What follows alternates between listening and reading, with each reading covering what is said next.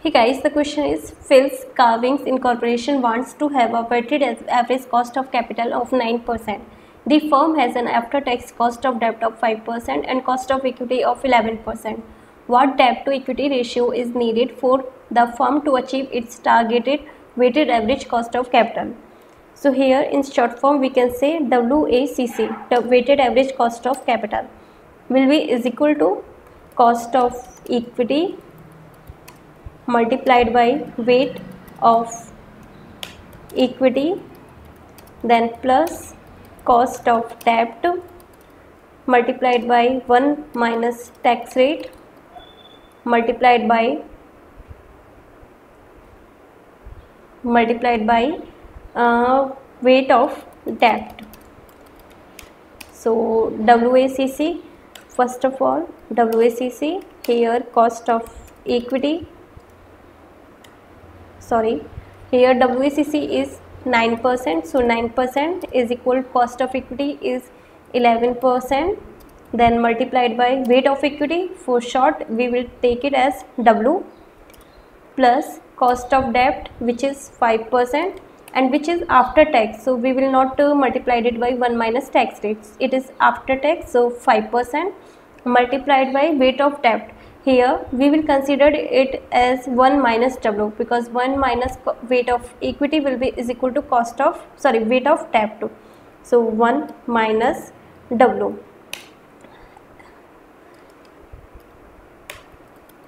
Weight of equity is W. So weight of debt will be is equal to 1 minus W. Simple.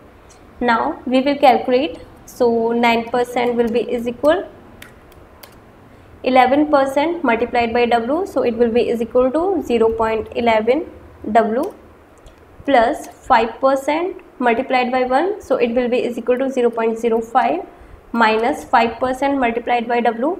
So it will be is equal to 0.05 W. So now here 9% or we can say 0.09 minus here 0.05 so it will be a negative value there. So minus 0.05 is equal 0.11 W minus 0.5 W so here 0.11 W minus 0.05 W is equal to 0.06 W now 0.04 so it will be is equal to 0.06 W. So our 0.04 divided by 0.06 is equal to W.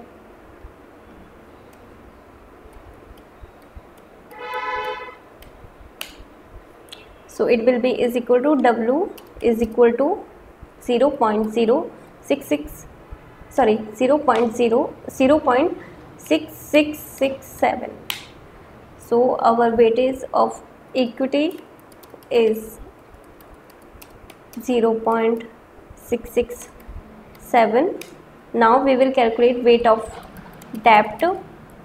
So weight of debt will be equal to 1 minus weight of equity. So 1 minus 0 0.6667 so it will be is equal to 0 0.3333 now we will calculate debt to equity ratio. So debt to equity ratio will be is equal to weight of debt which is 0.3333 divided by weight of equity 0.6667. So it will be is equal to 0.33333 divided by 0. So it is equal to 0.50 is equal to 0.5 0 so our answer is 0.50 here right option will be option C 0.50 so this is our solution. I hope you will find my solution helpful. In case any doubt you can ask me through comment box. And if you like my video then please subscribe to my youtube channel. And thank you for watching my video